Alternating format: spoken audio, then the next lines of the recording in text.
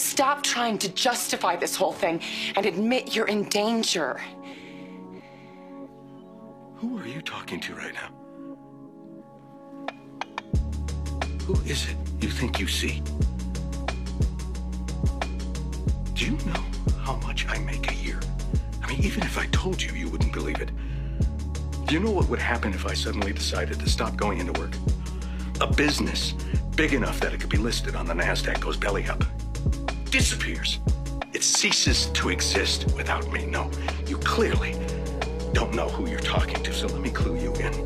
I am not in danger, Skyler. I am the danger. A guy opens his door and gets shot, and you think that of me? No. I am the one who knocks.